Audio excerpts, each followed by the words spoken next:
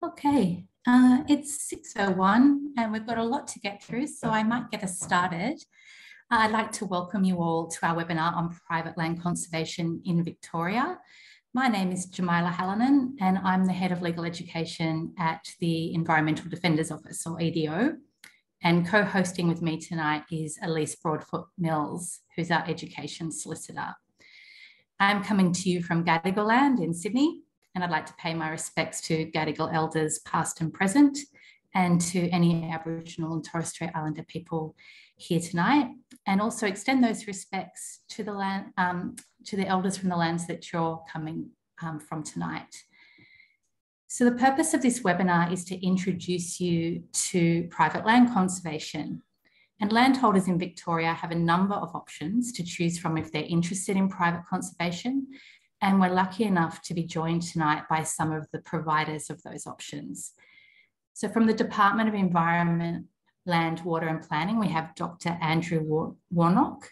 Um, from Humane Society International, we have Helen Church. From Trust for Nature, we have Ben Williams. And we're also going to hear from Peter Mulheron um, of Land Conservation Victoria. I'd really like to thank our panelists for making the time to speak with us tonight. This webinar is part of our Defending the Unburnt collaboration with WWF. And we've got Stuart Blanch from WWF um, with us as well tonight. He's going to start us off by telling us why it's important to protect land that escaped the Black Summer bushfires.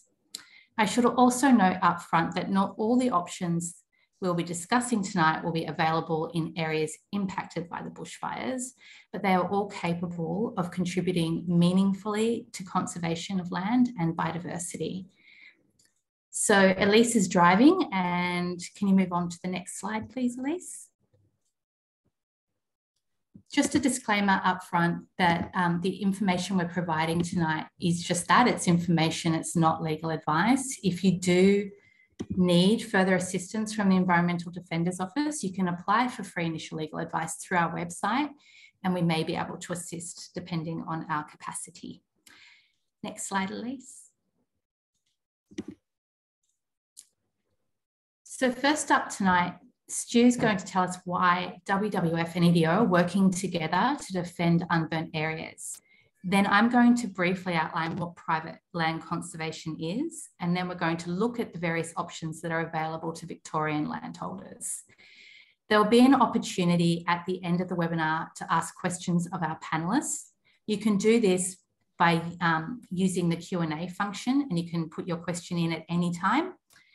Our panelists might choose to answer your question um, as we go in the chat Otherwise, Elise will read out your question at the end.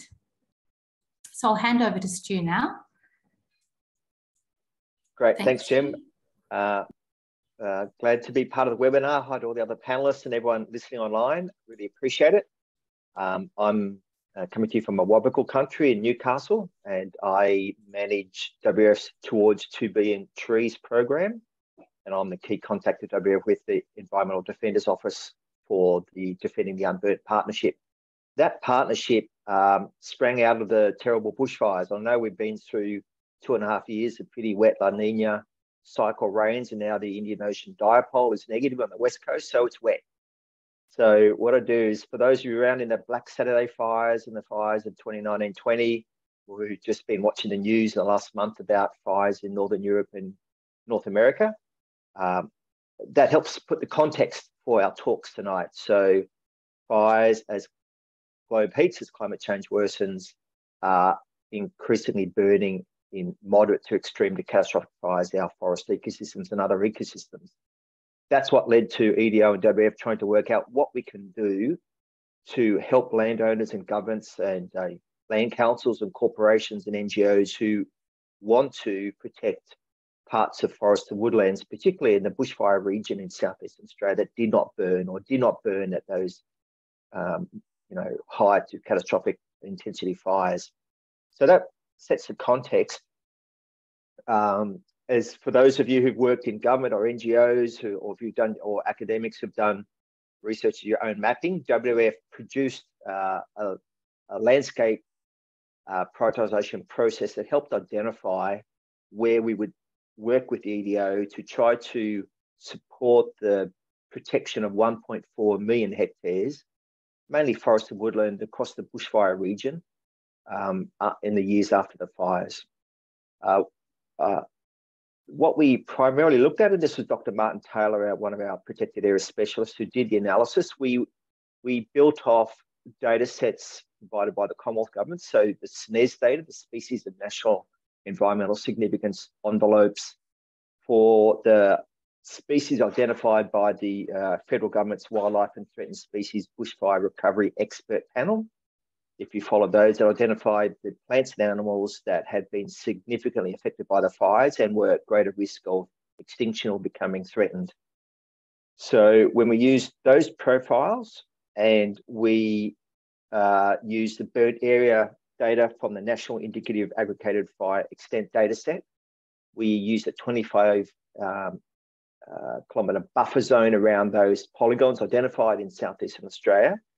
There are some that we toyed with and did not use, some data inputs such as um, forest carbon using the National Carbon Accounting System, um, the maximum potential biomass. In the end, it didn't. We did not include that, although it's very relevant, of course, to um, forest carbon protection in those unburnt forest areas, because there was a lot of correlation with the SNES data in terms of threatened species and ecosystems that held a lot of the threatened species, which are particularly the tall wet sclerophyll forest.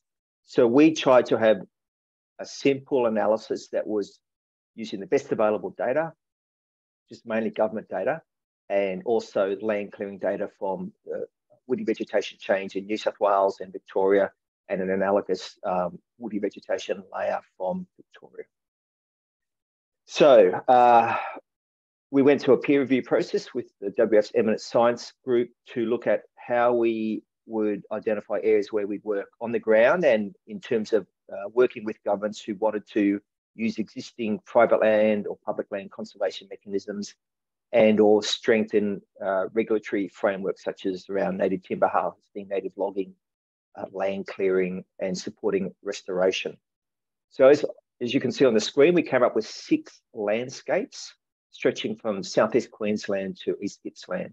They are the border ranges on the border between Queensland and New South Wales. Nymboida, which is sort of north of Grafton up towards Lismore.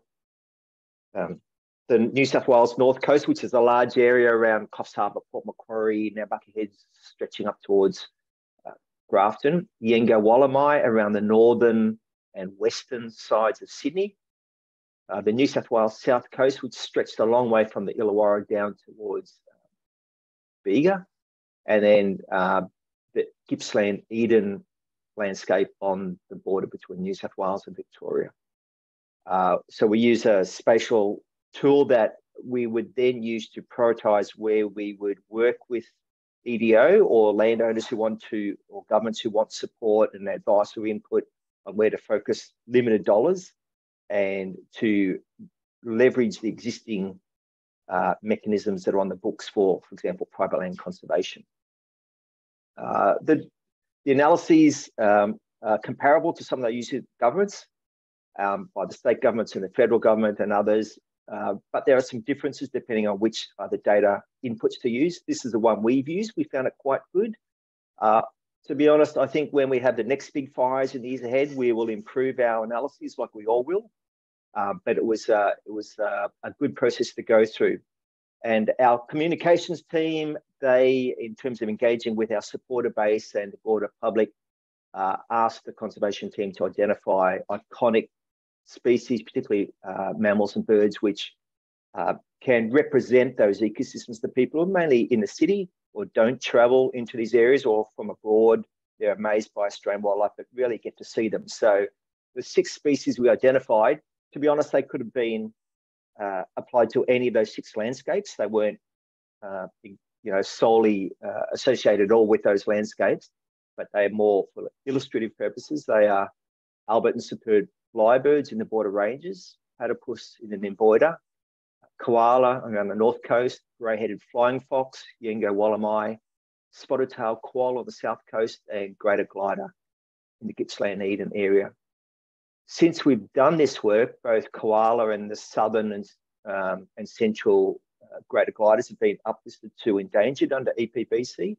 And I think it was only on Monday, might have been this week, that um, uh, the main Southeast Australian population of glossy black cockatoos were also listed as threatened. So, uh, unfortunately, it seems to be we focus on species which are on a downward spiral. There are some hope for some of these species, and in some populations, there is evidence where they are rebuilding their populations. And some of WWF's work with koalas, alongside many, many, many others across all sectors of, of society, are seeing koalas recovering in some areas where the threats are managed. So there's always hope, uh, but to be honest, it was a fairly stark uh, process to go through to identify where the, uh, the unburnt or less burnt forest and woodlands within these six uh, regions are that we should work on. Uh, Elise, next slide. Okay, this is my only other slide, so I'll talk through this. So um, why is it important to protect unburnt areas? And particularly now, if you've been out in the forest and the bush in the last few years, there's been a lot of regrowth, a lot of epicormic um, shooting from eucalypts, particularly a lot of weeds, a lot of the more fire adapted species such as wattles growing back um, in areas that were burnt, at, even at catastrophic and high and extreme intensity. So it's important to remember why the bushfires had such a large impact, which came after years of drought and then were preceded by, of course, massive rainfall and, and extreme events. We've been having those for the last two and a half years. So to recap, unburnt areas are essential for providing habitat and refuge for wildlife. As you know, a lot of our forests and a lot of our wildlife are adapted to bushfires. They require uh, fires. Pyrogenic species often require fires and smoke and the ash in the soil to uh, proceed to resprout after fires. A lot of wildlife can evade fires by flying away, hopping away, uh, burrowing underground. There's a great piece uh, in the in the news, I think only last week, about the number of animal species that use wombat burrows for for hiding during um, bushfires and drought and extreme heat waves. So uh, I tell myself when I get down, and I get pretty down about some of this stuff, as, as a lot of us do, our nature is tough. It bounces back. We are pushing it beyond a lot of its limits.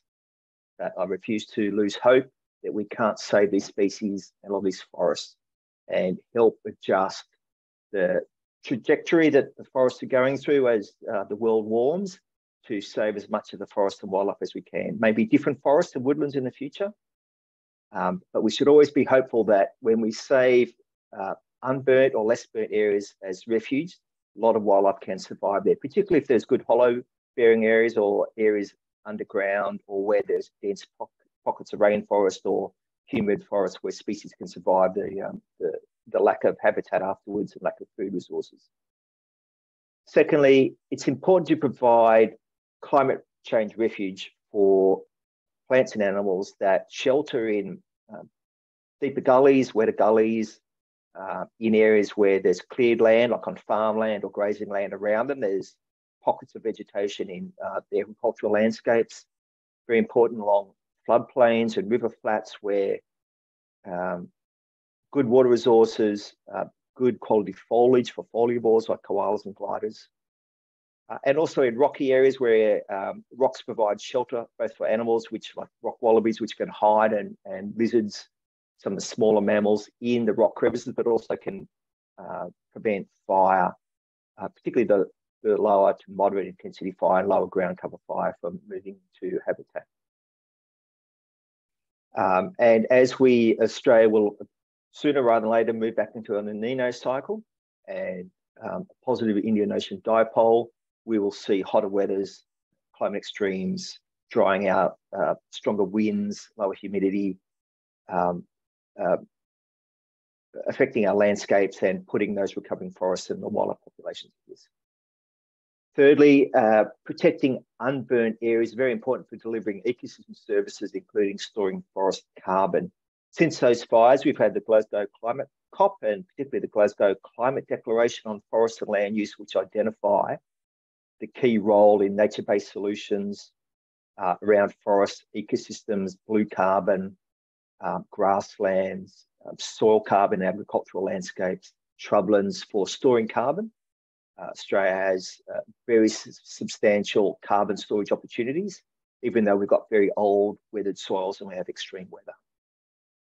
Um, and we've had the federal government commit to a 43% nationally determined contribution by 2030. That's going to be a very heavy lift, and our natural ecosystems will have to have a key role in that.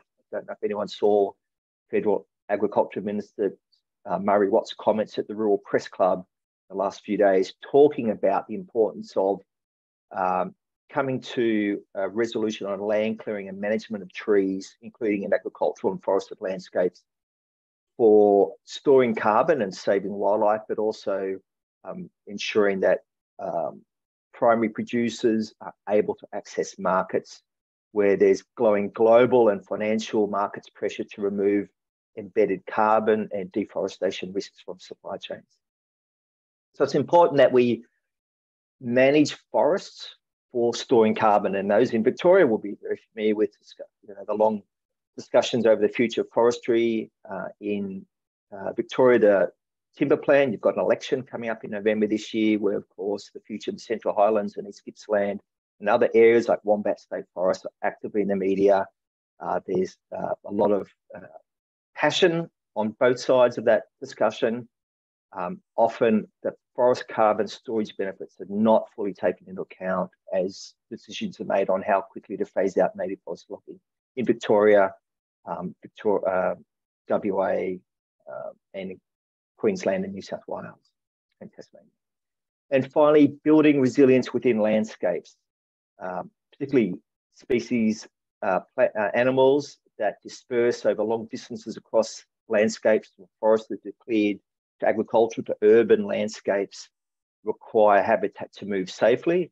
And uh, this goes to both ensuring they've got places to feed and to nest and to den, but also protection from invasives such as feral cats, um, foxes, and wild dogs, and allows the flow of genes uh, from plants and animals across the landscape over ecological timescales as um, inland New South Wales and including northern uh, Victoria north of, of the divide dries out and those high elevation and more coastal catchments and forested areas where there is uh, good humidity, good soils, uh, good rainfall, and active management, whether it's on park, on private land, to manage fire risks.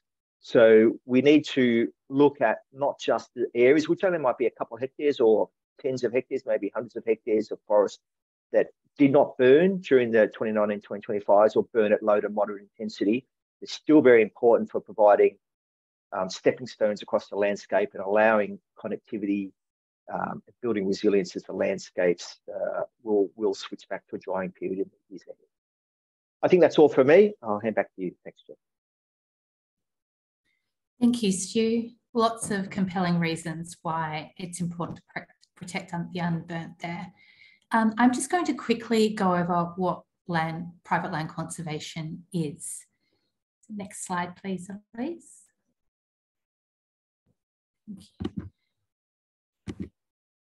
All right, so put simply, private land conservation involves a landholder voluntarily agreeing to conserve, to conserve some or all of their land for biodiversity. There are some options that um, also deal with the cultural values of land, particularly Aboriginal cultural heritage, but private land conservation is, is, is mainly concerned with biodiversity protection. And there's two main ways you can go about in um, private conservation. The first is by entering into some form of private conservation agreement with a provider. And this is probably the most common option. And we have um, many of the providers in Victoria here with us tonight. And the second is by registering um, your property with a private conservation program, so without an agreement. And again, we've got some representatives of those schemes here tonight too. Private land conservation agreements um, might be intended to last forever, or they can be for a set period of time. While the agreement's in place, the landholder is tend to be bound by that agreement and they can also bind future owners of the land, depending on, on what the agreement says. nearly all agreements will restrict what can be done um, to the protected area.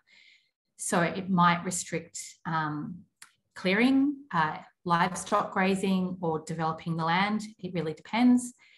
And the idea is, is so that the biodiversity values are protected.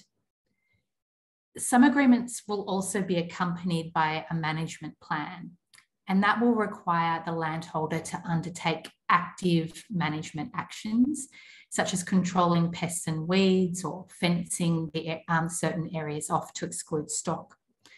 So in that way, the biodiversity values of the land can be improved over time. The landholder and the provider will negotiate the agreement and any management actions required. So they're very much able to be tailored to the individual circumstances of the landholder and their property. Nearly all the options available offer some level of landholder support to those participating in the scheme. And this could be educational, technical, or financial support, or a combination of all of those. Next slide, Elise. In terms of who the, the providers are generally, um, some agreements are made with a government body and others are made with environmental NGOs. So, for example, Humane Society International. It's important to note that as the landholder, you continue to own the land and you're responsible for complying with the agreement. Next slide. Choosing the right agreement is going to depend on your personal preferences and circumstances. We can provide uh, further information, um, particularly to landholders who are considering entering into a legally binding private conservation agreement. Uh, you can apply for legal assistance through our website, so check that out for more information. But if you're seriously considering private land conservation, you may also need to seek tax and financial advice depending on your circumstances. There are a whole range of things that you need to weigh up when choosing a private conservation option. Um, I've set some of those out for you here. The first is obviously the level of protection that will be provided. So some will provide a really high level of protection um, that will last forever and others are kind of more of an opt-in, opt-out um, kind of uh, scheme. So it depends on what you want to do with the land and how much protection you want to give it. You may also need to look at the level of support that will be available to you. So as I said, most schemes will provide some level of support, be it educational, technical, or financial. Um, some schemes provide significant financial incentives um, in the form of grants or one-off payments. The duration of the agreement is also really important. Um, some will bind future landholders. Um, and in, in, they do that by being registered on the title so that they, they, they um, run with the land. Um, and others will be easily terminated by a current or a future landholder. You may also want to look into startup costs, including the costs of seeking uh, any legal or financial advice that you might require. And in other instances, you may need to do a survey of the land or have the, uh, the land um, uh, assessed for its bio biodiversity values up front. You also need to think about what land management requirements there are, if any. So the, the management actions are negotiated as part of the agreement and they can be tailored to each property.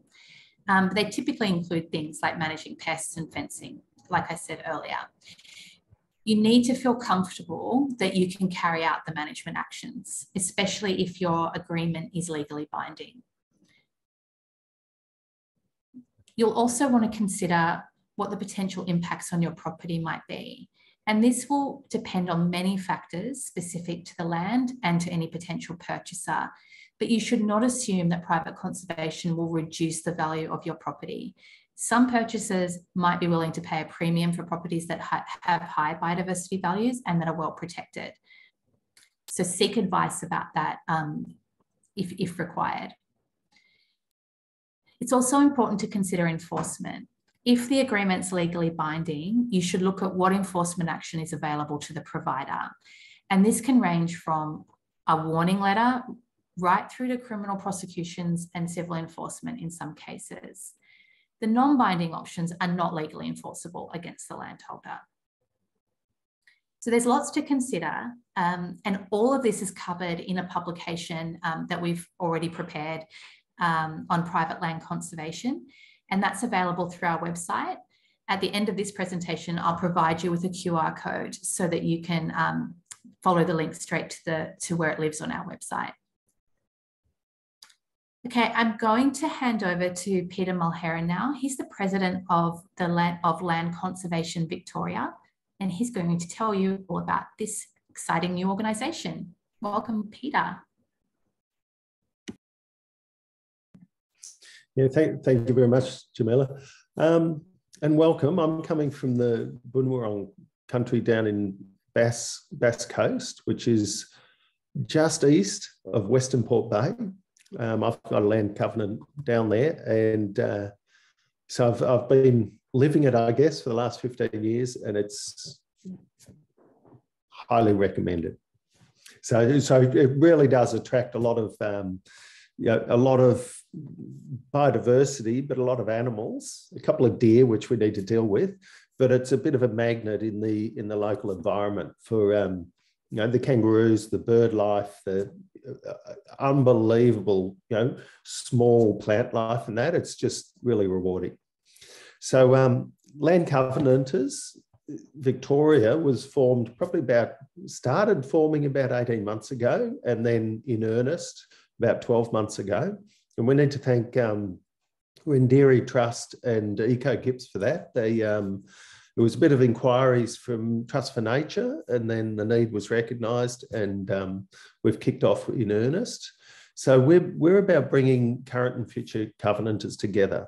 So there wasn't a there wasn't a, a central body, if you like, for Victoria to bring landholders with private covenants together, and that that's where we come in and we're very much about sharing the knowledge. So we're we're building up, and and there's another slide there about numbers, but we're building up that body of knowledge through people, um, and and remembering that we're independent. So we're not we're not attached to Trust for Nature. We're not a trust attached to government. We're focused on the landholders. So um, not not for profit and member driven. There's, there's currently 64, so those are the red dots, 64 members with covenants. And then we've got friends, friends and um, inter interested parties. So we're building up that network. Of the land covenanters in Victoria, there's between 1,500 and 1,700. So this, that map will be all red by the time we uh, mature, if you like. And um, we're looking at that connectivity and, and holding on to um, native habitat and, and providing that habitat for insurance species and um, you know, maximising the opportunity. Um, you, you touched on that, Stuart. You know, we can't we can't lose hope. We refuse to lose hope, and we need to build up that capability and that that mass, that biodiversity regions for those native native animals to come back in. Um, uh, the next slide there, I think, is please. So we're looking for those other 17, well, uh, what is it, 1,630 members to, to come on, join us, and contribute to the body of knowledge. So we've, we've got a really, really strong team at the minute. Um, and we've got a survey there for, you know, we're wanting to survey new members. So we'll be making a phone call, understanding what your needs are, what your interests are, and, and what it is you're wanting from an organisation like us. There's a pretty active group at the minute looking at, at a, what we see as a barrier, which is a land tax and rates. So on one hand, government is, is supporting offsets and you know has carbon targets. We're creating, we're, we're sequestering the carbon, we're creating the biodiversity habitat, but there's there's an impost of land tax and and rate rate rebates from local councils. So I think there's 79 or about 79 LGA local government areas within Victoria. There's not consistency around how they deal with rates and, and rate rebates. So, so it goes goes from zero up to up to no benefit, no no discount for rates. And you know, one of our advocacy areas is to say there needs to be consistency so that when someone's coming in to say, let's, let's put a, cover, a covenant on our private land, there's not that burden. There's a, not that you know, inconsistent cost, I guess. So um, we've, we've got a student project underway through RMIT University, and we're going to do a bit of research in that. And we're, of course, we're looking for more, more interest from uh, members. Um, and then that exemption. So thanks for that. Next slide. So um, a big part of this is interviewing the new members when they come in and, and getting feedback from them about you know, what they need. We're mentoring and, and volunteering programs. So you know, a, a, lot of my time is spent in talking and, and this, this sort of presentation. There's a couple more coming up.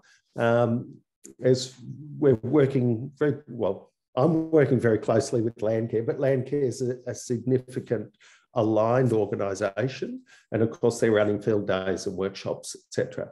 Um, we'll be doing a similar thing. There's there's been one up up north of the state already, um, and we're interested in keeping members and keeping that community of land covenanters you know, both motivated, you know, informed, and you know, as the community supporting where we can. There's also a lot of technical information that we can reach into Trust for Nature, DELWP, and, and the other stakeholders here that you know, collectively we're a lot stronger than, than as silos, if you like. So helping members to connect to those different resources. And get involved join us. There's a there's a there's a link there to our um, to our website. We're looking for you know, sharing those ideas, planning future events. We've got an event. I think it's close to the end of this year, maybe early next year. But you'll you'll need to stay tuned for that. So we'll be having a gathering and a you know social event, um, and and certainly we're on the growth trajectory, and we're looking forward to hearing from you. So thank you very much for that. Oh, thank you, Peter. Um, I think I have to apologise. I think I mispronounced the name of the organisation. Um, it's Land Covenanters um, Victoria. Um, and it's a fantastic initiative. Uh, I think that rates issue is so important. So I wish you all the best with your advocacy around that. Oh, th thanks a lot. And the land taxes. Yeah, that too. I'll just get absolutely. that I mean, whatever we can do to yeah. remove barriers to the uptake of, yeah. of private conservation is, is fantastic. Yeah, thanks, thanks a lot. It is a, I, I guess it's a bit of a contradiction. It's a bit of a hangover, mm. but you know, we, we know the importance of biodiversity and you know, climate and carbon sequestration. So, well, all the best. So we're now going to dive into the private conservation options available to you in Victoria. And um, you'll have to stick with me for a little bit longer um, because the first up we've got Land for Wildlife. Um, and unfortunately, uh, no one from Land for Wildlife could make join us tonight. So I'm going to take you through it. So under the Land for Wildlife program, landholders voluntarily register their properties to indicate they're committed to managing their property for nature conservation. It's provided for um, through the Victorian government at this stage. And in terms of the duration, you can opt out of this scheme at any time. So it's not legally binding. Um, and then future landholders can choose whether or not to participate in the scheme. There's no specific land eligibility criteria. Um, the only real requirement for participation in the scheme is for landholders to incorporate nature conservation into their land management practices. And you can do this in a multitude of ways. You might retain, protect uh, remnant native veg. You might allow leaf litter and fallen logs and branches to, to stay on the ground and provide habitat. Um, you could restrict uh, your livestock from accessing stream banks. You could fence off natural wetlands, leave river snags um, in place as fish habitat, uh, protect hollow bearing trees, uh, plant local trees, shrubs and grasses, that sort of thing. So registration for with Land for Wildlife carries no legal obligations and it cannot be enforced against you. There is some non-financial support available to participating landholders, and that includes an on-site visit to provide advice and answer any questions, COVID pending, advice about how landholders can contribute to biodiversity conservation. They hold field days and neighbourhood days and open properties and information sessions, so a fair bit of peer-to-peer -peer, um, engagement and learning. Um, there's a regular Land for Wildlife newsletter with lots of information. Uh, there's Land for Wildlife notes with detailed information on specific topics. And there's a much coveted Land for Wildlife sign if your property is fully registered. If you're interested in Land for Wildlife, uh, you can search them up on the internet. And you join by um, completing an application form, which is online um, or you can post it in um, all the details uh, on their website. There's no uh, cost to you for participating in this scheme. And as there are no uh, tax, property value, or legal implications, it wouldn't be necessary um, to obtain independent advice before signing up. So that's Land for Wildlife. Next up, we have Indigenous protected areas, and these aren't exclusive to Victoria. These are a national uh, scheme. And an IPA is an area of land or sea country that traditional owners have voluntarily agreed to manage for conservation. And the agreement is made with the Australian government. These agreements are accompanied by a management plan which sets out how country, its natural and its cultural values, um, and any threats to those values will be managed management plans are negotiated between traditional custodians and the Australian government, and they'll be tailored to the particular country that they relate to. Once they're declared, an IPA forms part of Australia's national reserve system and quite makes a really significant contribution uh, to biodiversity conservation in Australia. Like a significant amount of our national estate is, is in IPA form. Um, these agreements can also really help um, Indigenous communities to protect the cultural values of their country for future generations. And research shows that they can result in significant health, education, economic, and social benefits.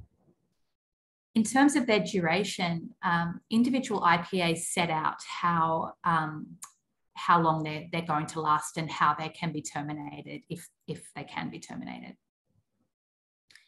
In terms of land eligibility criteria, they can apply to land or sea country. They can apply to a range of land tenures, including national parks, local government reserves, private land, native title land, um, and areas that are under co-management agreements. In terms of support, IPA projects are supported through a multi-year funding agreement Many Indigenous organisations also supplement this funding through a fee for service or other income generating activities, um, as well as support from private sector and philanthropic organisations. And the framework itself encourages uh, traditional custodians to enter partnerships with conservation and commercial organisations to provide employment, education, and training opportunities for Indigenous people through the scheme. There's no application process. Uh, the agreements are, are negotiated between the traditional custodians and the Australian government, and that happens through the National Indigenous Australians Agency. Before they can be declared, there needs to be a fair amount of community consultation um, and a plan of management needs to be prepared, which can be a bit of work and can take a bit of time the Australian government can support traditional custodians uh, through that consultation and, and plan of management process. Uh, we recommend that any traditional custodians um, interested in entering into an IPA uh, seek independent legal advice before they do it and, um, and, that, and also get some support uh, through the process. Okay, it's time to hand over to Ben Williams, who is going to tell us about Trust for Nature's conservation covenants. Welcome, Ben. Thanks, Jim. Very much appreciated. G'day, all. Um, hello from uh, sunny East Gippsland. Uh, this morning at my place, it was minus 3.4 degrees. Um, the hose had frozen over. I couldn't even uh, clear my windscreen. Uh, I have no idea why they make them that cold. I just don't think it's necessary. Anyway, um, as I said, my name is Ben Williams. I'm a Senior Conservation Officer and also the Lead Covenanting Officer for Trust for Nature here in East Gippsland. And I think the best way for me to sort of give you a rundown on how uh, Trust for Nature works is uh, sort of going over what we can do for private land conservation and, and I suppose how we roll. So Trust for Nature is a non-for-profit organisation and we are funded through governmental grants and also quite a lot of philanthropic donations. One of the oldest conservation organisations in Australia and our mission is to protect and restore biodiversity on private land in Victoria.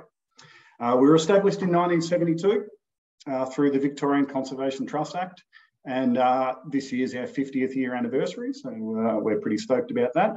And in our time, we've protected, thank you very much, Bert, we've protected uh, over 180,000 uh, hectares of private land forever, which is just an amazing accomplishment and uh, and it's a tip of the hat to to uh, to um, private landowners who have the same visionary sort of descriptors as what we do. It's great to work with some of these people. Um, so some of the stuff that we've protected, at least in the last um, 12 months or so, we've had a really big year. Uh, we've protected all sorts of threatened species and communities, for example, uh, the critically endangered helmeted honeyeater, uh, the critically endangered plains wanderer, the vulnerable powerful owl, the platypus, and the grey-headed flying fox, just amazing organisms. From a flora perspective, we've been really successful in the last 12 months in protecting the endangered honey caladenia, uh, the dwarf kurrajong, uh, the endangered river hooksedge, and the endangered bonnet and leafless tongue orchids, the cryptostyluses, amazing, amazing little organisms there as well. They're so rare and so beautiful. Or, orchids completely do it for me every single time. Also, um, uh, different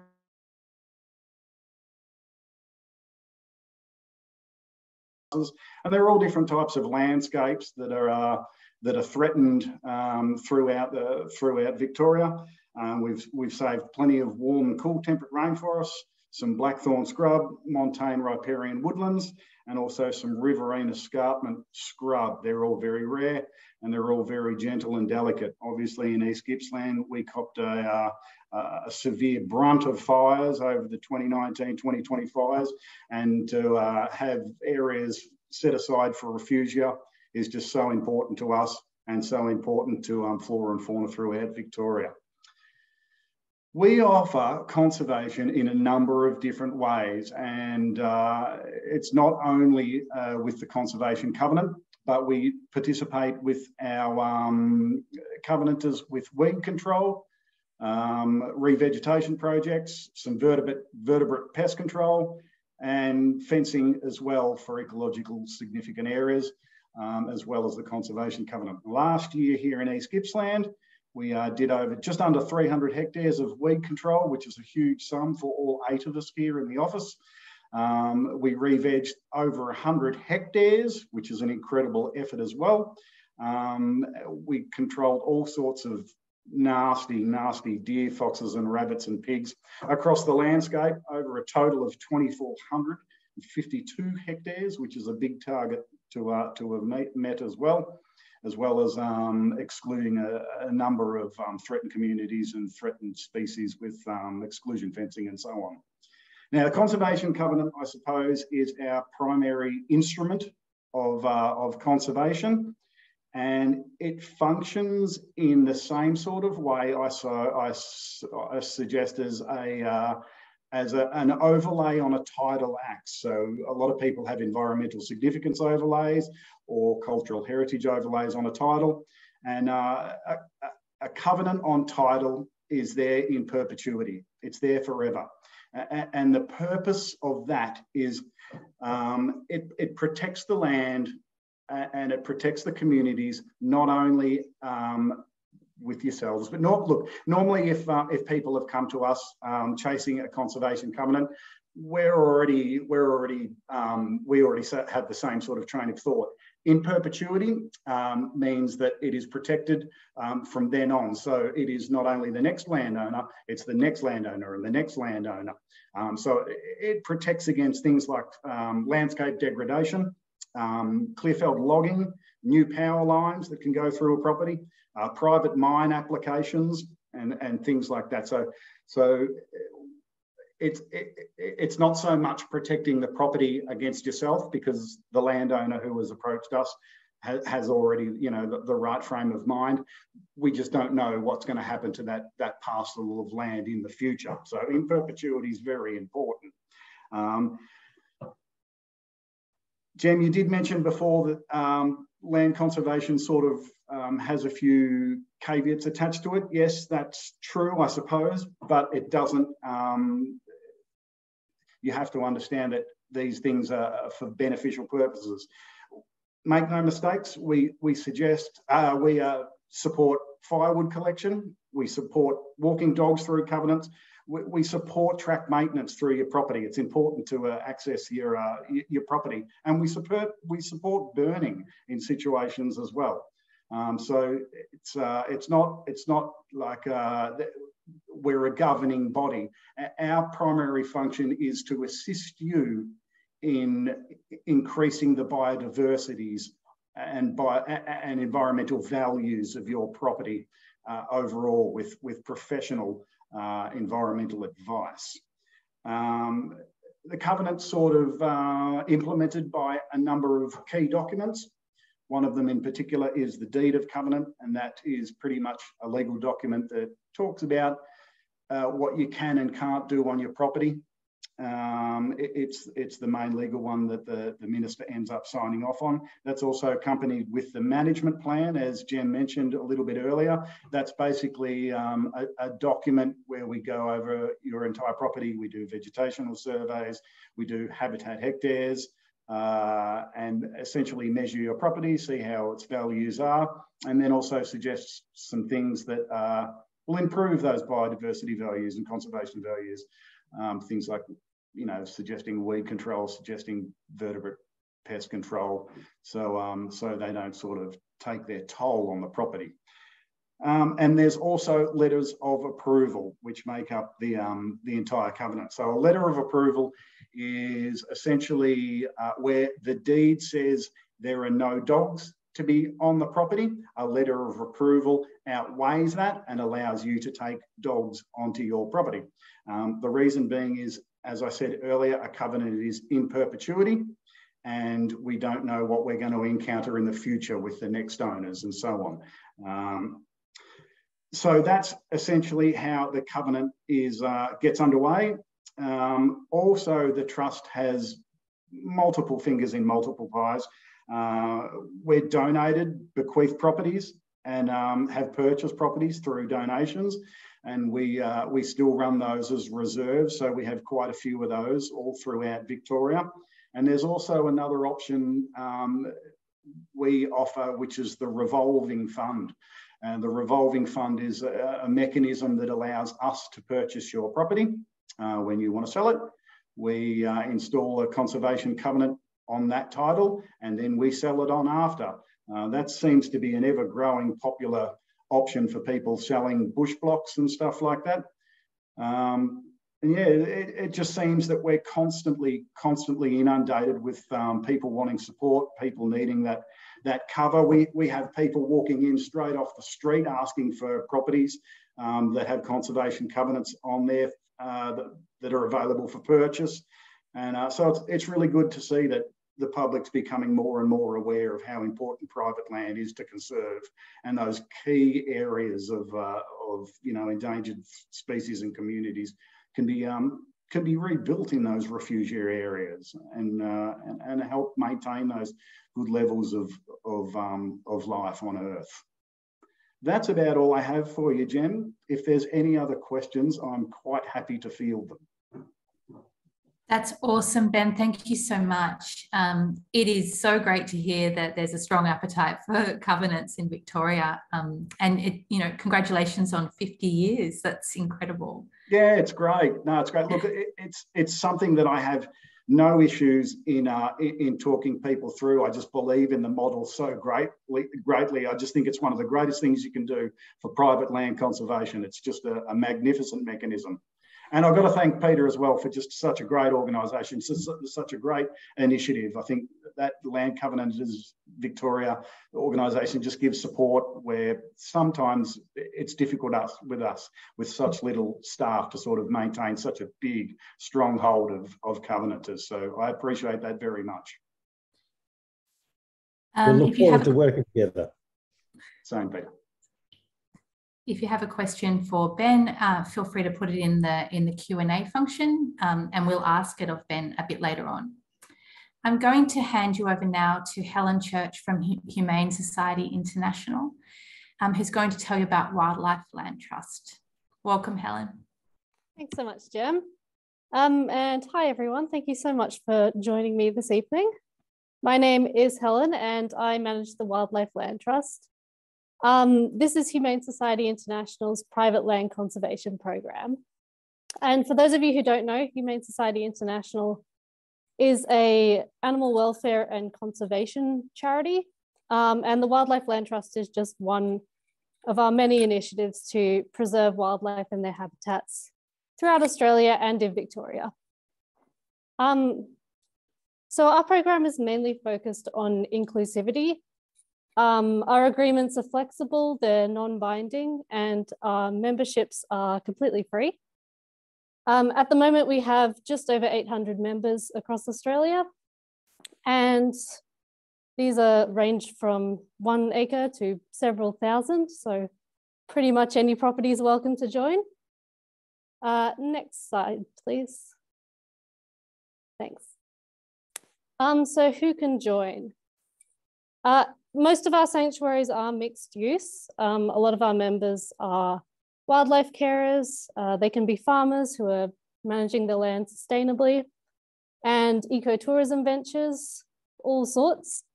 Um, basically, you're welcome to join as long as you're managing land for the benefit of wildlife and their habitat in your area.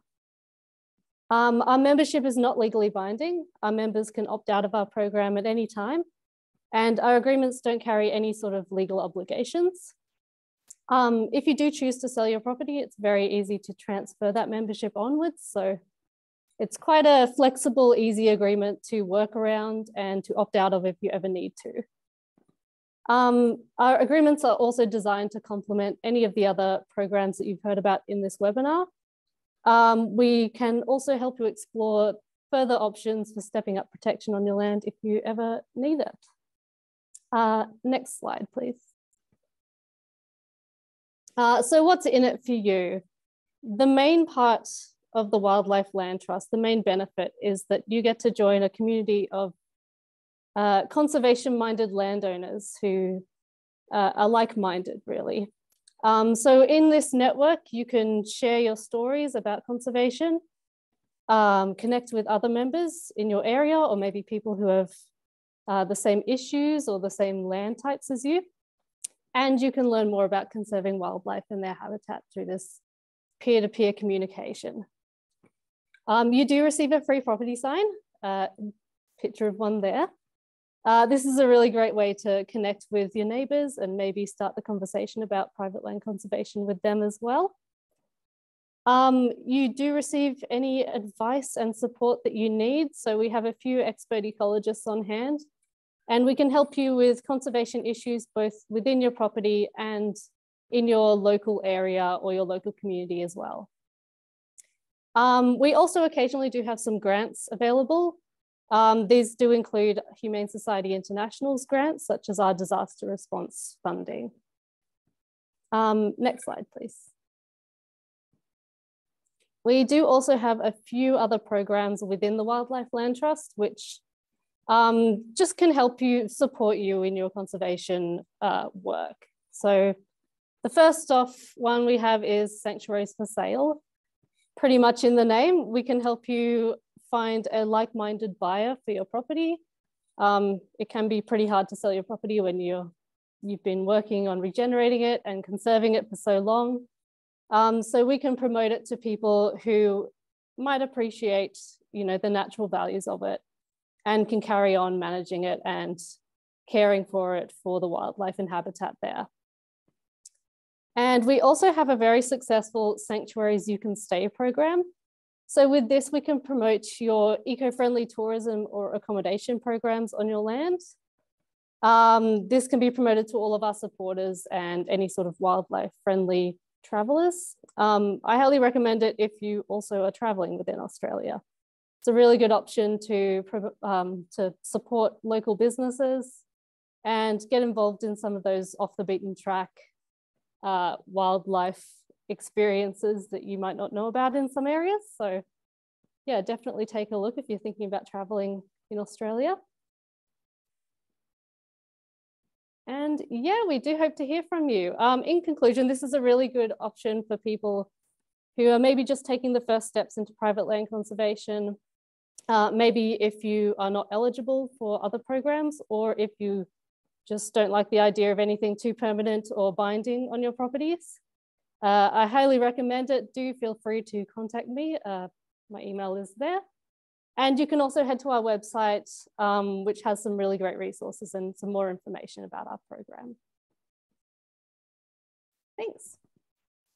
Thank you so much, Helen. A great option there for anyone wanting to dip their toe into private land conservation. And they do amazing work generally um, right across Australia and internationally to help protect biodiversity. So a great organisation all round. Um, Next up, and lucky last, we have Dr. Andrew Warnock from the Department of Environment, Land, Water and Planning. Um, Andrew is going to take us through our final option tonight. I've forgotten what it's called. Andrew, you'll have to introduce it for me. No, that's all right. So um, I wanted to talk about the Conservation Forests and Lands Act um, and options to protect and enhance biodiversity values within properties under a Section 69 agreement under that very Act. Um, so I've been working, um, I guess, in the native vegetation um, space for uh, 15 or so years, um, working sort of the offset space, both as a consultant and more recently within the Department of Environment, Land, Water and Planning. Um, so the text in front of you, I guess, is just the, the clause from the um, from the Conservation Forests and Lands Act. Um, um, but basically, what if you go to the next slide, perhaps? Um, basically, what that is is just a legally binding agreement between the landowner and um, the Department of Environment, Land, Water, and Planning. Um, and it's used for a range of purposes, usually relating to conservation, usually in perpetuity, so forever. It usually applies to all future landowners. Um, and what it does is provide an opportunity for landowners to protect the environmental assets um, against future threats. Um, I guess being environmental threats, as well as I guess potential um, future landowners who might not have the same um, commitments to conserve the land, um, and also opportunities to receive financial benefits for undertaking those conservation actions and increasing the obligations, or I guess, of the restrictions of the land, such as protection of the native vegetation. Um, if you can go to the next slide, please. Um, so it's used for a number of different um, programs, um, carbon offsetting agreements um, being one of them, and various conservation agreements, um, such as grants. Uh, I don't think there's any current grants available but they do appear from time to time. One of the programs currently running, or just sort of, I think the grants just closed off, is Bushbank. Um, so that website there, I guess, gives a link to the potential grants that are open. So it's worthwhile people having a look at that and just keeping an eye on that website if it's something you're interested in doing. Um, I think next year we might have some more Bushbank opportunities grants available, and I guess that's an opportunity for funding um, and the mechanism, I guess, to uh, enact the conservations via the Section 69 agreement. But what I wanted to focus on today is biodiversity offsets, um, which is to protect um, both Commonwealth um, matters of significance as well as state matters of significance and native vegetation. Um, I'll repeat that website if you haven't written it down, and I'm happy to share my slide as well on the next slide. Um, we can go to the next slide. Um, so the offsetting program, I guess the crux of it really is around the guidelines for the removal, destruction or lopping of native vegetation, um, which outlines, I guess, the processes for permitted removal of native vegetation for various purposes. It might be for a, a housing, um, construction of a house or a road or various various matters, whatever the reason is, people are removing native vegetation across the state. It provides, I guess, uh, an objective to ensure there's no net loss to biodiversity as a result of that removal. Um, and that's achieved through um, increasing the quality and quantity of native vegetation or habitat within offset sites across the state. Um, noting the key principle, I guess, of those guidelines is at first avoid removal of native vegetation and only if that's not feasible, um, minimizing, and if that's not feasible, offsetting. So I guess it's a three-tiered approach, and offsetting being the last um, tier to that sort of three-tiered approach. So it's important to sort of recognize that. Um, and so if somebody's removing vegetation within Victoria, that requires to be offset, and that can be done by proponents for two, two mechanisms. Um, they can protect and manage vegetation on their own property, um, but in some cases, they might not be able to do that, or um, they choose not to, in which case, I guess, which is the key to sort of what I wanted to chat about today, is they need to get an offsite uh, offsite offset site, and they'll do that through purchasing credits from a third party. So landowners, such as many of those here today, I guess have an opportunity to protect and manage vegetation, and I guess um, as a form of sort of compensation for that, um, can receive sort of funding um, through the offset program. Um, I guess some people sort of feel that I hesitant, I guess, to support development within Victoria, which is sort of understandable. And I guess that's something that I've sort of thought about through my sort of entire career in environmental management because lots of it unfortunately is attached to developments but i guess what it does is give you the opportunity to protect um, and manage vegetation within your property and make sure sort of values that you might have are protected and managed um, and those offsets are going to sort of a good a good home. Uh, next slide please.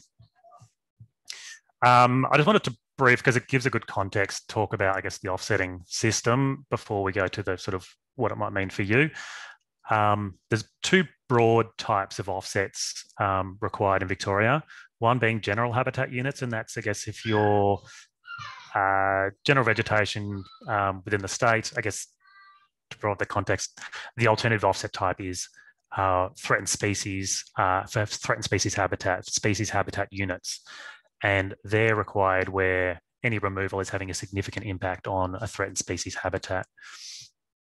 Um, and I'll provide more context for both of those in the following slide if we can. So a general habitat unit, um, if somebody requires a general habitat unit, that can be achieved anywhere within the Catchment Management Authority region, the CMA region, um, across Victoria. Um, it doesn't need to be the same vegetation type. I guess that used to be part of the state policy, but um, it was just very difficult for, um, I guess, to navigate the system with that sort of complexity. So it's been simplified um, with general habitat units. But it does need to provide a similar landscape importance. And that's what we refer to as a strategic biodiversity value, which is that map on the right hand side. And sort of just uh, ensures development in key biodiversity hotspots um, are offsetting sort of key biodiversity hotspots and also encourages landowners in key biodiversity hotspots like um, the Grampians or like Wilson's or French Island um, and those sorts of areas, um, encourage those landowners to protect the, the value of their land. Uh, next slide, thank you. Um, the other the other offset type is species habitat units. Um, and if somebody has a significant impact on a threatened species habitat, they require offsets for that particular threatened species. And they can achieve those any in the, anywhere in the state, but they do have to provide the offset site does have to provide habitat for that species. Um, and that's based on modeled habitat. Um, I guess the rationale for using the modeled habitat is that we used to have a policy where we required sort of site assessments to determine whether a site provided model habitat or not. Um, that is still part of the process, but um, when SOLA relies on, I guess, the site assessment, we get five different assessors all giving five different answers because it gets pretty easy for like, I don't know, a threatened eucalypt or something because you can easily see it and ID it. But if it's a threatened fauna, you can do your threatened species surveys and not find them, but you're still the species might not be that might be there, just not on there on that day. So kind of ends up being the opinions of the assessor. Um, and you get lots of different conflicting assessments, which it's difficult for people to navigate the system and provides a lot of um, uncertainty for various stakeholders in the system. So it's based on model habitat, but there is fact checks along the way to make sure that habitat modeling is correct. Uh, next slide, please. So you can generate offset credits, which can be sold to third parties via a variety of means. Um, it could be via revegetation, so increasing the extent of native vegetation within Victoria. And revegetation, I guess, is basically on a blank canvas. So it could be old cropping land, old um, pastoral land, and it's about sort of planting native vegetation on there, trees and shrubs, and variety of sort of life forms to um, recreate, I guess, a natural ecosystem. The other option being to protect and manage an existing native vegetation patch, um, so a bush block people might have, um, and so protecting that native vegetation in perpetuity and maintaining the native vegetation quality in, in perpetuity and generally improving the quality of the native vegetation quality over a 10 year period. And then at the conclusion of the 10 year period, it's then maintained in perpetuity by, uh, I guess, the current landowner, or if they sell a property, future landowners. Um, and the third being protection of scattered trees. Um, so uh, sadly, I guess when you drive across, uh, particularly Western Victoria, where I'm from, um, you see lots of these um, beautiful old scattered paddock trees, but there's no babies around them. And eventually, those beautiful old scattered trees, which provide habitat, are eventually going to die off by natural cause of death. Um, so if we don't make babies to replace them, um, we lose that habitat. So I guess it's an opportunity to protect the scattered trees and the area around them, allowing natural regeneration or planting to make sure that we got that uh, stepping stone across the landscape. Next slide, please. So there ends up being a on-title legal agreement, uh, which applies in perpetuity and to all future landowners, which I guess um, uh, is important to um, ensure that the values you're trying to protect, I guess, uh, don't get forgotten about once you sell the land or sort of pass on. Um, and there's no subdivision of the protected area, so can't be carved up into the future. Um, it doesn't mean that you can't, I guess, plan for subdivision if that's what you want to do. I guess you just need to plan that. And I guess when you're establishing the offset agreement, making sure that you sort of plan where you, where that might occur, um, if that's something you want to do in the future. I guess some people want to um, allow for potential, if there's no dwelling on the property, I guess allow for domestic areas and things like that. So either they or the future landowners can do something like that, doesn't restrict them. Um, and I guess what I'm primarily talking about today is Section 69 agreement with DELWP, um, but the I guess the other opportunity being a, a trust for nature uh, offset, offset covenant. Um, and that on title legal agreement applies um, regardless of whether offset credits have been sold um, or how many have been sold. So that's important consideration, I guess, if you're going to make this commitment, I guess, just considering, I guess, um, uh, the market, I guess, demand for offsets, and if you're comfortable in entering that agreement, um, because uh, you may be able to sell offsets, but in the event you can't, I guess that agreement applies. And I'll go into more about the market sort of forces later on. If we can go to the next slide, please. So talking about native vegetation patches, protection of a, you might have a great bush block um, or, or part of your property, the back box of your property with some great native vegetation. Um, opportunity to protect that. So I guess the image on the left is sort of a, there's a um, photo point, but unfortunately it's not sort of uh, the, the same dead tree, I guess there is in both of the photos, a bit of a change of frame, but left-hand side, you can see all the horehound and other weeds. And then a conclusion of 10 years, um, lots of those high threat weeds have been removed. So sort of great outcome. Um, and if you're protecting no vegetation patch, um, the obligation is to, there's no removal of native vegetation, logs or leaf litter, and that includes fuel reduction burning um, or fuel reduction. Um, not saying that can't occur in the property, but I guess if you need think you need to do some, I guess a fuel break or something like that, you just plan where that's going to be before you establish that offset agreement and generally excluding stock unless it's a native grassland, because some native grasslands can benefit from strategic grazing, um, but generally excluding stock. Um, controlling pest animals, including deer, control of weeds. I guess the baseline is ensuring there's no increase in the weed cover, um, but then there's an option to uh, and, and, eliminate new and new and emerging high threat weeds. But there's an option, I guess, to eliminate high threat weeds, so increase your obligations and you'll generate more offset credits by doing that. Um, so increased obligations, but greater sort of um, gain both in biodiversity and in sort of financial benefits potentially. Um, or I guess if you've got a woodland but it's lacking a shrub layer, you can do some supplementary planting or introduce some logs from uh, uh, from another source for habitat. We can go to the next slide, please. Um, protection of scattered trees, lots of the points are the same, which is why I've included those in grey, I guess, but um, uh, the key difference, I guess, is monitor for natural regeneration under the scattered trees being protected. And if they don't naturally regenerate, um, doing some planting to make sure that those babies do grow up. So we've got a photo there of, I guess, uh, the very common but sort of sad landscape of beautiful old habitat trees, but no babies, so nothing to replace them. 10 years later, um, we've got some reasonable sized saplings to sort of create new trees in and around them um, when those trees eventually uh, die off. Next slide, please. Um, the other option being revegetation, so increasing the extent um, of native vegetation, which might be on a blank sort of canvas, just a crop paddock. Um, usually of a variety of life forms um, and species with sort of similar commitments. Uh, next slide, please.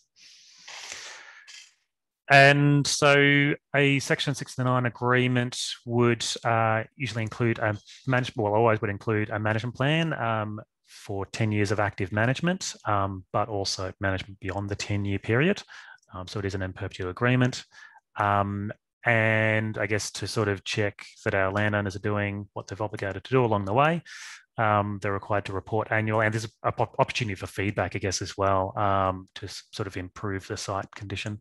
Um, annual reporting for the first 10 years um, from the landowner, and then upon re reasonable request from DELWP thereafter, which we plan to do approximately every five years.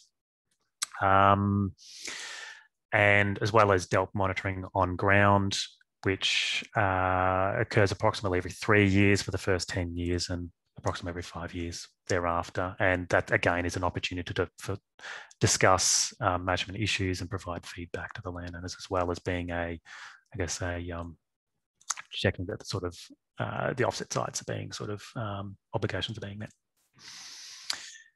Um, so I guess if you've signed a Section 69 agreement for offsets, you generate native vegetation credits. I guess they can be traded on an open market.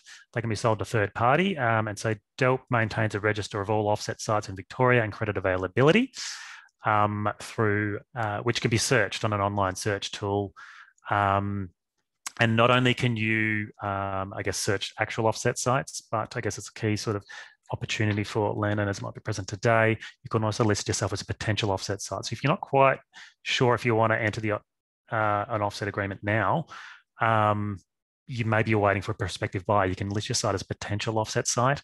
And then when a buyer comes along and says, yes, I'm willing to buy some credits off you, then you can sign that in perpetuity agreement, making sure you've got a guaranteed sale. Um, and they can be the credits can be sold via a broker or directly the landowner can like liaise directly with the purchaser. Uh, next slide, please.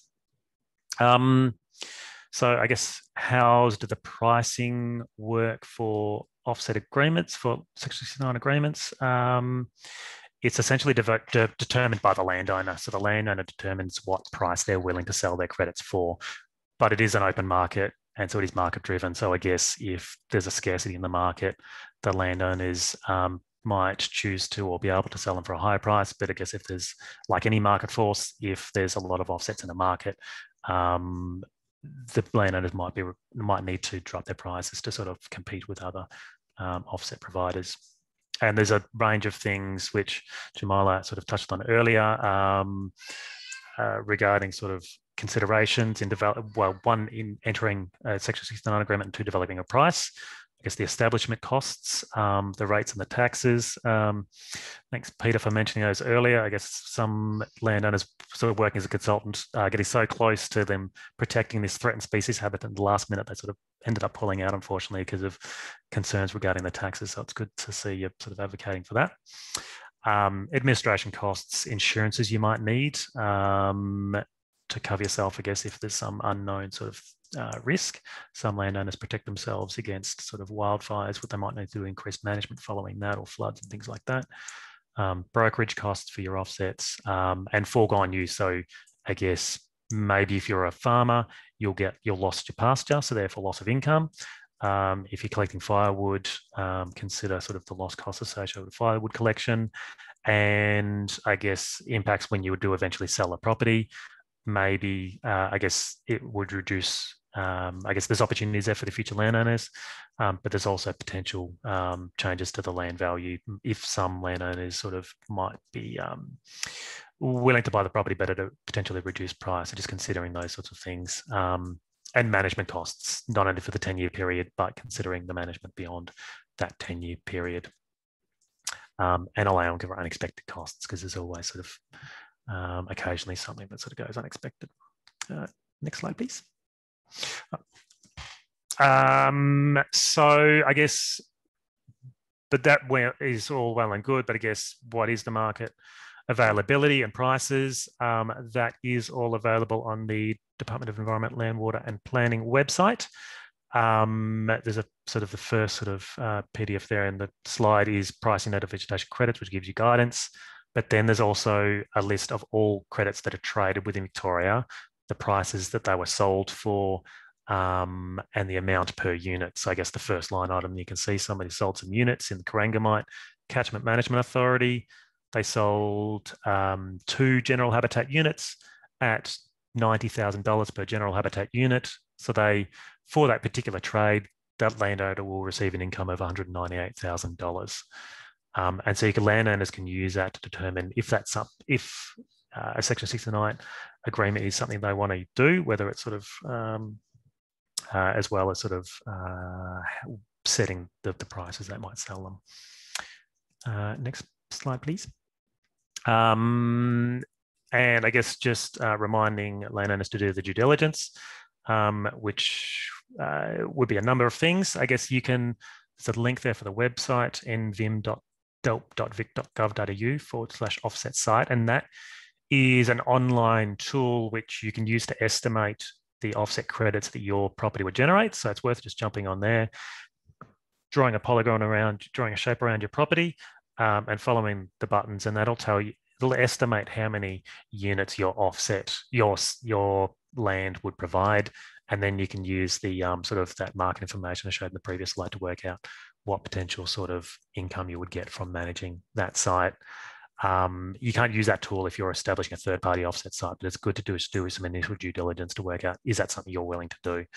Um, and if so, you can pursue that further. Um, and so um, I think it was Jamala mentioned earlier, some of these points, I guess, are the threats manageable? Can you actually manage the threats on your site? And what's the likelihood of success for revegetation? I guess love to say revegetation because it's a clear benefit biodiversity, but unfortunately, sometimes it does fail. Um, and so, considering, I guess, um, uh, the likelihood of revegetation in your site, sort of considering sort of like um, how arid is the site, is it on a steep escarpment where it might likely fail, and things like that. Um, and your future desires and use for the lands. Obviously, it's an in perpetuity agreement, so just considering what you might want to do in the future of the land, so you don't sort of cut off, cut off um, opportunities that you might want to have and looking at the market demand. So you can, I guess, regarding the market demand, you can chat to um, site assessors and brokers regarding sort of the offset demand, and they can help you also conduct some due diligence assessments, review the site eligibility, and do further in-depth analysis of the amount of gains in you would get um, for threat species habitat units and general habitat units. Uh, next slide, please. Um, and I guess if you've entered one of these 669 agreements, um, for offsetting, how would you be paid? I guess if there's a trade that occurs between a landowner and a purchase, credit purchaser, that money comes into the DELWP trust and it is um, given back to the landowner in proportional amounts over a 10 year period. So the, the full amount of a trade will go to the landowner, but over a 10 year period. Um, so uh, receiving 35% in the first year because there's a lot more management that needs to happen in that first year. Maybe there's some new fencing that's needed. Usually it needs more intensive weed control and pest control and things like that. And those management obligations generally decrease as the years progress. So they receive 35% in the first year, 5% the next year, and 10% in progressive amounts until you re, uh, receive 100% of that trade. Um, and that's paid to the landowner provided that landowner is compliant with their um, Section 69 agreement. Um, and where they're not compliant, compliant, I guess we would hold funds until um, uh, those required actions are achieved, um, as well as sort of, I guess, we potentially would freeze the availability of selling those credits as well. Um, next slide, please. Thanks. Um, and so it can lead to great environmental outcomes. I guess this is just an example offset site, which just after one year's management. Um, and it it was an uplifting site, not only because I guess of the biodiversity, there was such clear biodiversity benefits in one year. This is a deer wallow. And the site assessor was very uh, nervous, I guess, about the ability to control deer within this site. Um, but just after one year's management, it got great conservation outcomes. And this landowner, um, I guess, not only for the biodiversity, but for the improving, the, I guess, the um, uh, appreciation of, of environmental values, this landowner had very little knowledge of uh, the plants and animals that were on his property. Um, and was paying sort of contractors to do the weed and pest control, which some of our landowners do. He found that he just wasn't getting the bang for buck out of getting contractors to do the bushland contract works. So he ended up doing, said, forget that. I'm going to learn what weeds and pests to have on my property and do all the work myself. Um, he didn't even sort of he, some of the weeds on site he actually planted because I guess um, he didn't know they were a weed at the time. And so part of the work was removing some of the weeds he'd planted years before um, and I guess, yeah, through increasing, it just seeing that increased appreciation of the nature that he was living in. And I guess deer being not only removed sort of by sort of shooting, but also his constant presence in the property because he appreciated the property so much, sort of drove the deer into other other um, sites because um, they sort of um, didn't like him being around so much. So that's yeah, that's all I wanted to sort of chat about today. But you're happy to talk about any questions that people may have. Andrew, thank you so much for such a, a, comprehensive overview of Section 69 agreements and introducing us to offsetting, which is a, another way of looking at private conservation and one that can get real environmental outcomes. I also have to congratulate you because you got through a phrase that included the words offset, offsite, offset site and you didn't stumble, um, which I thought was really impressive. Um, okay, so that's it for the options. Before we go to questions, I just wanted to let you know that the EDO and WWF will soon be publishing a guide to the carbon market for, for landholders. So we looked at the carbon market as a possible alternative pathway for private landholders to benefit from protecting unburnt trees on their land. And this forms part of, a, of the broader defending the unburnt work that the EDO and WWF are collaborating on. So we're looking at lots of ways to defend unburnt landscapes. Private conservation is one, um, critical habitat, um, uplisting species. There's lots of different legal mechanisms that we are looking at to try and um, and protect the unburnt.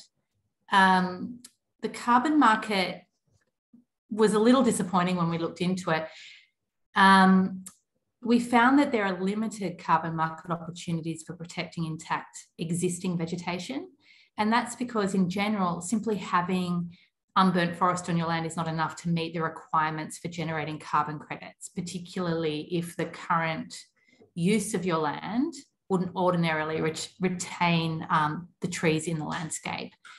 But that said, um, this guide um, does provide an overview of the regulated national carbon market, which is administered by the Clean Energy Regulator. And in addition, it looks at the domestic and international voluntary carbon market, as well as some possible co-benefit opportunities uh, for projects that protect uh, biodiversity and deliver um, uh, carbon benefits as well. So um, watch this space um, because we'll be publishing this guide really soon on, on our website. Um, next slide, please. So this QR code will take you to um, our webpage um, which includes all the work we've done on defending the unburnt to date. Um, we've published quite a few reports um, including our um, private land conservation for landholders report. So if you follow the QR code, um, it will take you to our, our webpage where you can find um, that the, the private conservation guide. That covers off on everything we've we've discussed tonight. Um, so if you didn't take it all in the first time around, you can read it at your leisure and um, consider your options a bit more carefully.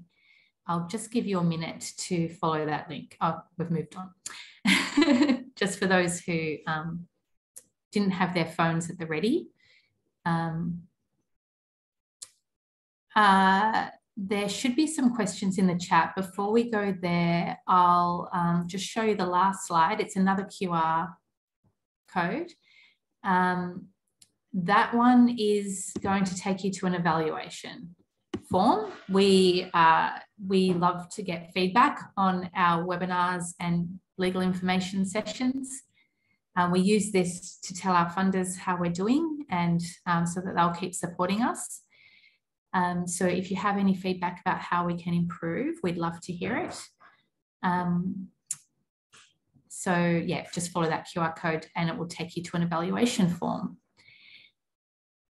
Uh, Elise, do you want to start us off with some questions? I saw there is a bit of action in, uh, in the Q&A. Yeah, we are running pretty close to time, but I think there's quite a few that are similar, so we'll be able to get through a couple. Um, first question, probably for Ben and Andrew around um, enforcement. So we mentioned that some options can be legally enforceable and there's sort of certain management um, requirements that you need to do on your own land. And people seem to be interested in sort of how stringently um, this is checked and, and if there are um, management requirements that aren't being met, sort of what's the action that you would take against a landholder. Um, and sort of second prong of that question is if there's inadvertent impacts on your land, maybe um, activity on your neighbour's land is sort of contaminating your land, is there a bit of a grey area there for how you sort of enforce that? Is there, yeah, sort of negotiations with landholders before you take that enforcement step? Um, I'll attempt to answer that. Um, so I guess we have a range of steps to work with landowners for compliance. Um, I guess landowners are receiving financial benefits through the Section 69 agreement. So we do need to sure, make sure that, I guess, one, that the management actions are being undertaken, um, but two, that the management targets are being met, which is why it's important for landowners to think about, I guess, can they achieve those management targets? Because um, I think it's unachievable, then I guess perhaps not, um, I guess, dropping the bar, I guess, for commitments because there's a range of bars that can be uh, selected. Um, and I guess the first thing we would do is guess is halt payments and work with the landowner to address that threat. Um, and in some cases, it is sort of unfortunately sort of deliberate, sort of I guess, or intentional sort of um, breach of the agreement. In other cases, they're trying their best and we don't want to sort of um, wrap people across that knuckles for sort of trying their best. So we just work with the landowners to address what the real threats are and achieve those outcomes.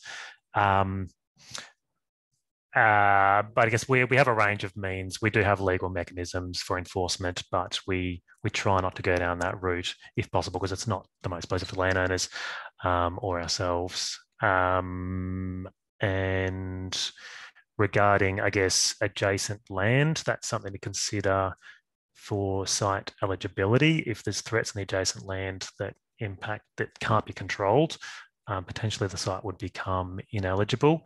Um, if it was an established offset site, um, then yeah, I guess it probably would be difficult circumstances um, and uh, we haven't had a clear example of that, but usually, I guess, I, some, some cases we actually have, and we've worked with the adjacent landowners, but um, I guess it might be a potential grey area, but we can usually work with the adjacent landowners as well as the actual offset landowner to, to, to make sure those outcomes work. Yeah, that's really helpful. Thank you. I think some of those questions sort of came in that vein of, you know, if the landowner is trying their best, is there a way you can sort of work with the covenanter to to work through that? So I think that's really helpful answer. Mm then I might just follow up. Is that a similar situation with Trust for Nature as well? Yeah, absolutely. I think I think we're very much the same as Andrew. We are we very much try and work with the landowners. You know, there, there's different threats that are uh, that, that can impact upon um, conservation values. Um, some of them are standard as weeds can be dealt with rather easily, but things like uh, uh things of an elusive nature like sambar deer or, or, pigs are something that are very hard to manage in a landscape. They're elusive by nature, um, and, and, we can't expect a landowner to um, to remove all um, deer or, or, pigs from their landscape because it's it's just not practicable. Um, but yeah, I think I think much as, as, I said, much the same as Andrew. We try and work with the landowners and uh, and and provide as much support with um, navigating those those issues awesome. instead of um, instead of you know sort of going down the breach line. That's just uh, that's just not where we want to be a key yeah. part of my job as well, I guess, is to when so I do quality assurance review of any new Section 69 agreement and make sure that I feel comfortable and i can sort of manage those threats. And if they can't, sort of, yeah, we'll have that upfront discussion before even we even enter agreement, which is sort of a key key step to avoid those circumstances in the first place. Fantastic. Thank you both for that. Um, Helen, a quick question for you. We've had a few questions about um, sort of joining um, HSI, if you've already got other covenants on land, um, do they just still apply to you through that process the same way? Yeah, yeah, absolutely. So you can be a part of any uh, covenanting organization or um, any offsetting organization. Uh, as long as you're managing your land for wildlife, um, we're more than happy to welcome you on board. So, yeah, it doesn't change our agreements at all.